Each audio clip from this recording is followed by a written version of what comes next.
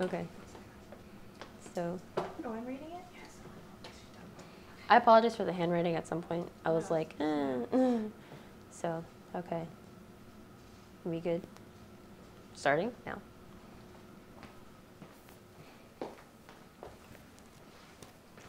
Five, four, three, two. Ruben Hernandez Sr., growing up in 1950s Panama, had a dream of growing up to becoming a jockey. He fulfilled his dream by racing horses in Panama and all throughout the United States, including winning the 1979 Belmont. He became pretty famous back in the day and is considered to be one of the best to ride of his time. He also happens to be my grandfather.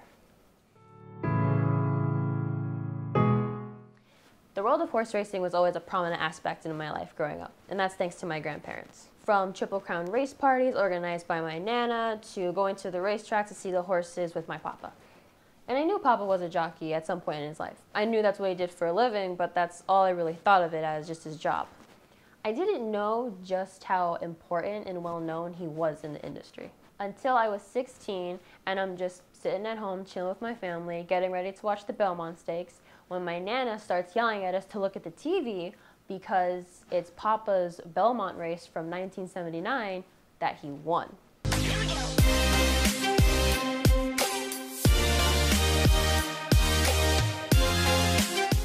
What was life like in Panama as a child?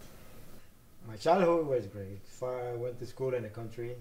I was surrounded by horses and cows. My grandfather used to have a lot of cows and, and horses, and that's the horse that I was riding when I was there. He gave me a horse. When did horse racing come into play? Like, did you know about it when you were a kid? When I was in Panama and when I was living in the country, even though I was a little kid, I knew. I remember my dad. We have an uncle that was a jockey, Sandino Hernandez. so it ran as a family. It ran in the family, so I knew he had a jo- uh, he was a jockey. I always wanted to be a jockey. I always heard about it, and I wanted to be a jockey all the time.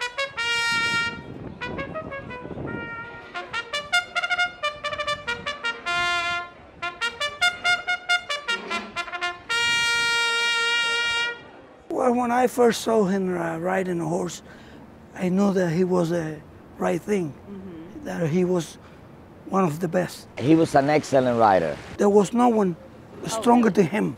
A mark that you could give him, you could give him an A plus. The only problem that he has is that he was too quiet. He never got mad when they bad on him. You know, usually when you get bad on in a race, you come complaining. He never complained. You gotta be aggressive when it comes to talk to trainers, to owners, to people. You know, you gotta be a hustler. He talks with his riding. Because I keep hearing a lot about this Panama jockey school. At what age? Like, is it a legit school? What It is is. it? It's, uh, it's run by the racetrack to in order to teach kids how to ride horses. We take our horses and take it to the track and train them, ride them. The whole process from you coming here from Panama as like a jockey, like that whole process. Take me through that process. Like I said, I was doing very well, and then um, one day uh, a guy says to me, he said, "Listen, these guys looking if they want to talk to you." And I said, "Who are they?" And he goes, uh, "There's," he says, "Tres gringos," and there was there Sonier, Jimmy Bracken, and Raul Cesar. Rest in peace. He started talking to me. Oh, I see the way you ride. You ride good. Blah blah blah. We, I, I, I want you to come to, to the United States to ride for me. And I said, uh, "Oh yeah, I like to do that." How long did you race in Panama before you came here?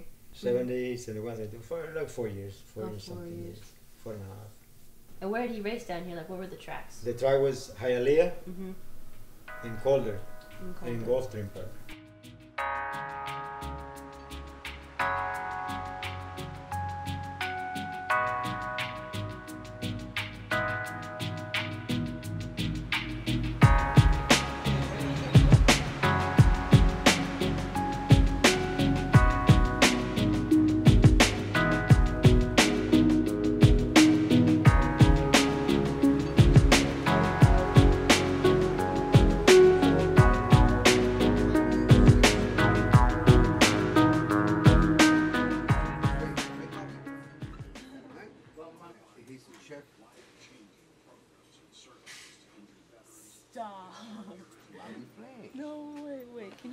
Oh my god.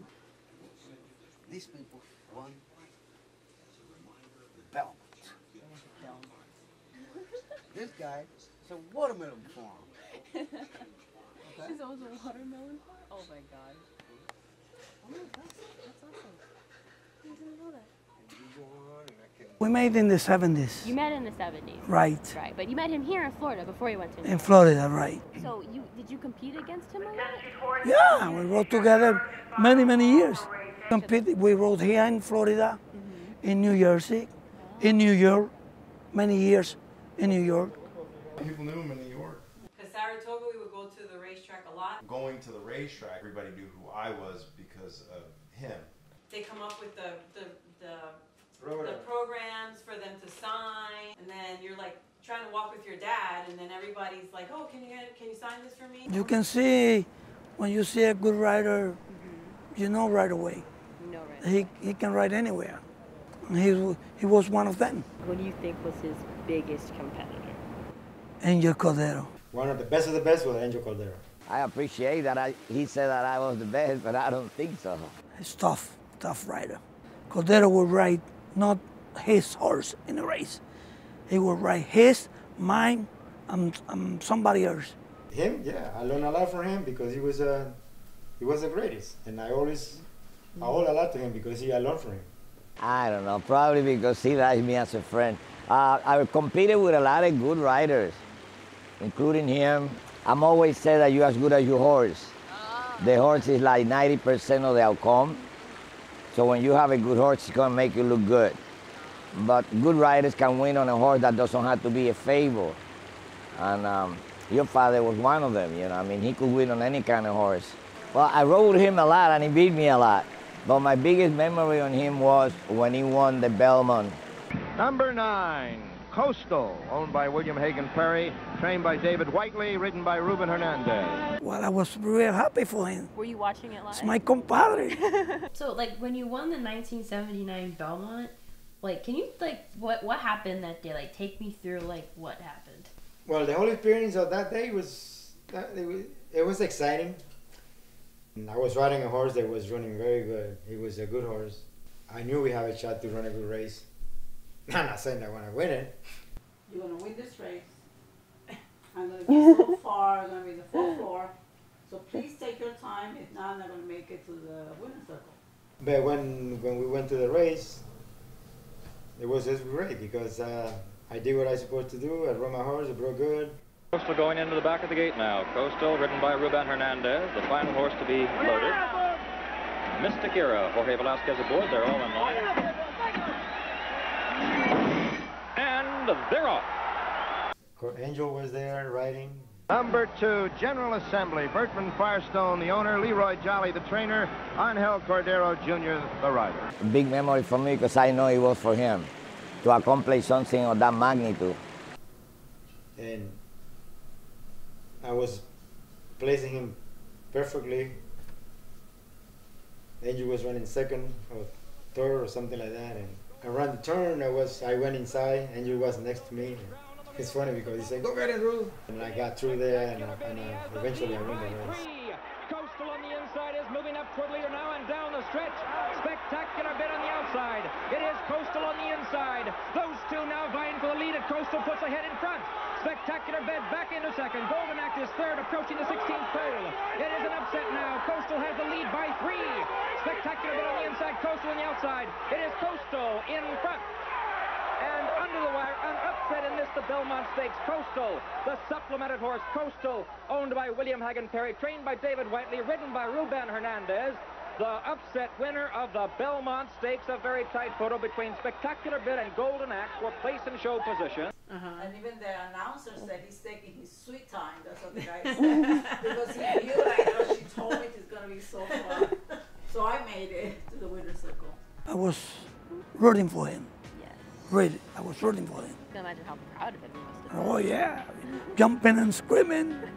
Another one for the Latin Jacks. yes. He beat a horse that was going for the triple crown, and he was a better horse. And he rode a beautiful race, and he beat him. It's official. You're in the history books,